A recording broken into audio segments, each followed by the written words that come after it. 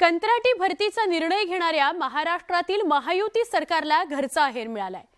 कंत्राटी भरती केल्यास शाळांमध्ये गौतमी पाटील नाचेल असा टोला भाजपच्या माजी केंद्रीय मंत्री सूर्यकांत पाटील यांनी लगावला.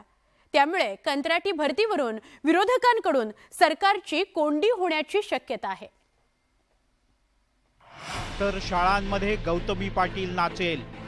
कंत्राटी भरतीवरून भाजपला घरचा आहेर. माजी केंद्रीय मंत्री सूर्यकांता पाटील यांचा घणाघात.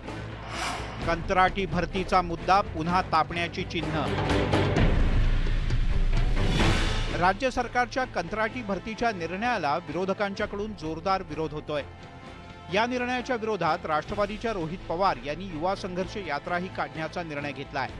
कंत्राटी नोकर भरतीच्या विरोधात विरोधक आक्रमक झालेले असतानाच आता काही सत्ताधाऱ्यांच्याकडून सुद्धा या निर्णयाला विरोध सुरू झालाय.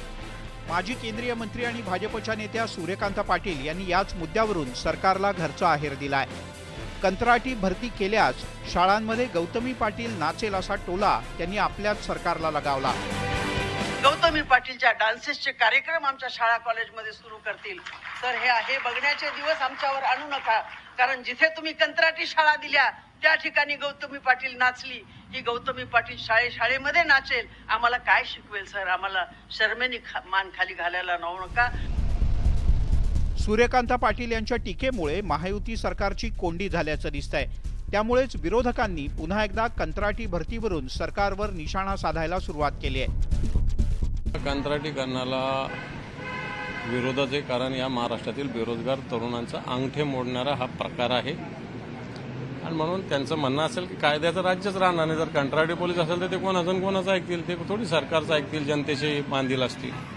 जी कोणती एजन्सी तिच्याशी बांधील असतील आणि ते म्हणतात ते चूक नाही सरकारला त्यांच्या घरचा आहे तो. एकंदरीतच कंत्राटी भरतीच्या मुद्द्यावरून विरोधक आधीच आक्रमक असताना सूर्यकांत पाटील यांच्या विधानानं त्यात भर पडली आहे. यामुळे आता पुन्हा एकदा विरोधकांना कंत्राटी भरतीच्या मुद्द्यावरून सरकारची कोंडी करण्याची आयती संधी मिळाल्याचं पाहायला मिळत आहे bureau report news eighteen Lokmat.